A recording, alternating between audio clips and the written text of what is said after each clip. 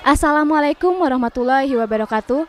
Halo sahabat SMP Asalam, kembali lagi bersama saya Siva Mariska Utami.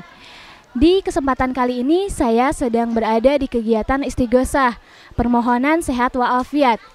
Kegiatan pada kali ini melibatkan unit-unit pendidikan di bawah yayasan atau di bawah naungan Yayasan Asalam. Kegiatan ini bertujuan untuk memohon perlindungan, kesembuhan, dan uh, tolak bala dari penyakit yang sedang uh, trending kali ini yaitu virus corona.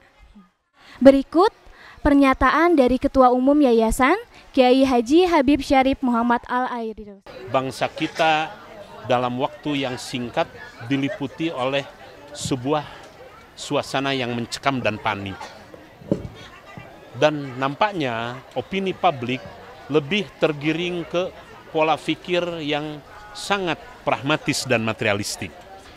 Padahal kita sadar bangsa ini bangsa yang agamis, bangsa ini bangsa yang beriman. Mudah-mudahan dengan model pendekatan yang kami tawarkan, pendekatan batin, sedikitnya bisa memberikan kedamaian, ketenangan, dan ketentraman. Karena masyarakat nampaknya sudah cukup kalut dan tidak sedikit yang memanfaatkan situasi yang maaf dengan cara-cara yang kurang bijak, cara-cara kurang yang tidak bijaksana. Di dalam agama kita yakin bahwa semua ini tidak lepas daripada skenario besar Allah. Allah lah yang memberi, yang menurunkan bala bencana dan pasti Allah yang akan menarik bala bencana itu sendiri. Tinggal proses waktu.